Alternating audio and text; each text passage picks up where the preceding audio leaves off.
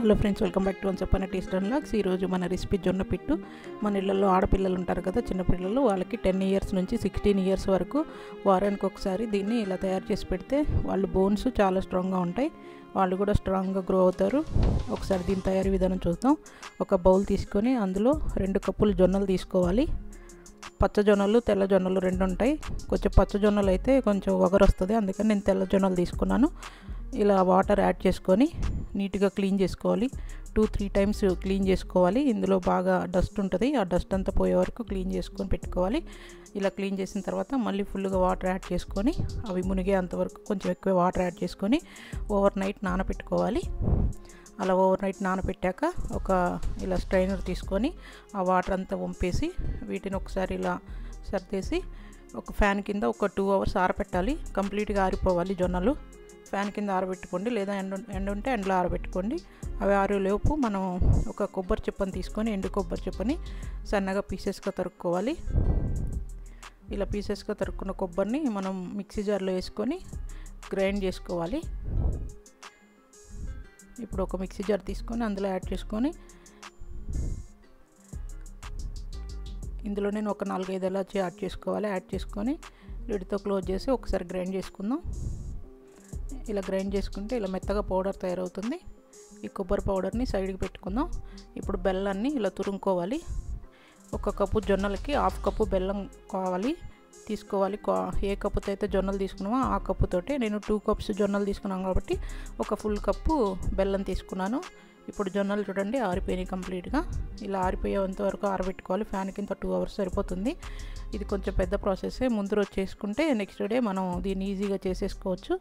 ఇప్పుడు ఈ జొన్నల్ని ఒక మిక్సీ జార్లో యాడ్ చేసుకొని మనం బరగ్గా గ్రైండ్ చేసుకోవాలి. లిడ్తో క్లోజ్ చేసుకొని ఒకసారి గ్రైండ్ చేసుకుందాం. ఒక టూ టైమ్స్ త్రీ టైమ్స్ సరిపోతుంది. ఎక్కువ అయితే పిండి అయిపోతుంది. పిండి అయిపోతే మనకి పిట్టు సరిగ్గా రాదు. చూడండి ఇలా బరగ్గా గ్రైండ్ చేసుకోవాలి. అంటే జొన్న రవ్వలాగా. జొన్న పిండి కాదు జొన్న రవ్వలాగా బరగ్గా గ్రైండ్ చేసుకోవాలి. ఒక బౌల్లోకి యాడ్ చేసుకున్నాం దీన్ని.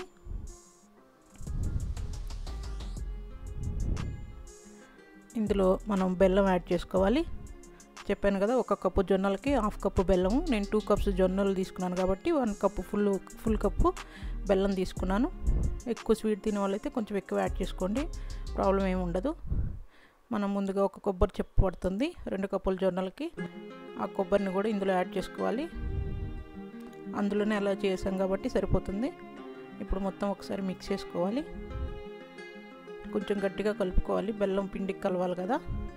అలా మిక్స్ చేసుకొని సైడ్కి పెట్టుకొని ఇప్పుడు నేను ఒక బౌల్ తీసుకున్నాను. ఇలా ఏదైనా తప్పాలు ఉంటే తప్పాలా లేదా గిన్నె ఉంటే గిన్నె తీసుకోండి. అందులో వాటర్ యాడ్ చేసుకోండి. ఒక త్రీ కప్స్ వాటర్ యాడ్ చేసుకోండి. గ్లాసెస్ ఒక వాటర్ గ్లాస్ ఒక త్రీ గ్లాసెస్ వాటర్ యాడ్ చేసుకొని ఒక పల్చని క్లాత్ తీసుకొని ఇలా ముంచి నీళ్ళల్లో ముంచి పిండుకోవాలి. పిండుకొని దాన్ని ఈ బౌల్ మీద ఇలా పెట్టుకోవాలి. చూడండి ఇలా బౌల్ నిండుగా స్ప్రెడ్ చేసుకోవాలి. కొంచెం పెద్ద క్లాతే తీసుకోండి. తర్వాత ఒక చిన్న ముక్క తీసుకొని ఇలా థ్రెడ్ లాగా మీకు థ్రెడ్ ఉంటే థ్రెడ్ తీసుకొని లేకపోతే ఒక దారం తీసుకొని అయినా సరే ఇలా కట్టుకోవచ్చు.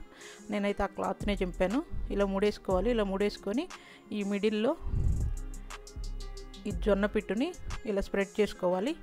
ఇది ఆవిరికి ఉడికించుకోవాలి మనం. అందుకని ఇలా స్ప్రెడ్ చేసుకోవాలి. నార్మల్గా గిన్నెల్లో లేకపోతే ఇడ్లీ ఇడ్లీ ప్లేట్లలో అలా ఉడికిస్తారు కొంతమంది. అది అంత బాగా రాదు. కొంచెం నీరు నీరుగా అవుతుంది. ఇదైతే చాలా బాగా వస్తుంది ఇలా ఒకసారి ట్రై చేయండి. చూడండి ఇలా స్ప్రెడ్ చేసుకొని ఇప్పుడు క్లాత్ని దాని మీద వేసేయాలి. మిగిలిన క్లాత్ని ఇలా క్లోజ్ చేయాలి క్లాత్ తోటి. అంటే ఆవిరి బయటికి పోకుండా ఆ చుట్టూరు ఉన్న క్లాత్ని మొత్తం ఇలా క్లోజ్ చేయండి. క్లాత్ అసలు కింద ఉంచొద్దు. ఎందుకంటే మంట మండేస్తుంది మళ్ళీ.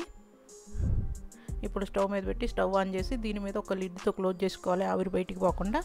ఇప్పుడు హై ఫ్లేమ్లో టెన్ మినిట్స్లో ఫ్లేమ్లో టెన్ మినిట్స్ మొత్తం ట్వంటీ మినిట్స్ ఉడికించుకోవాలి. ట్వంటీ మినిట్స్ తర్వాత మంచి స్మెల్ వస్తుంది ఉడికాక. ఇలా పొగలు కూడా వస్తాయి ఆవిరి బయటకు వస్తుంటుంది.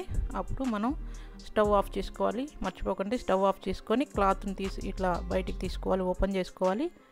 స్టవ్ ఆఫ్ చేయకపోతే ఆ క్లాత్ కాలిపోతుంది. జాగ్రత్తగా చేసుకోవాలి ఇది. ఇప్పుడు చూడండి జొన్న పిట్టు రెడీ అయిపోయింది. దీన్ని నేను బౌల్లో తీసుకుంటున్నాను. ఇలా బౌల్లోకి తీసేసుకోవాలి.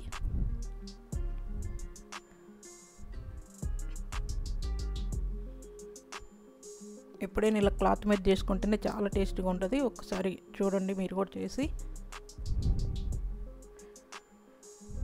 ఇంకా మిగిలింది కూడా ఇలానే same as it is same process. అలానే తయారు చేసుకోవాలి.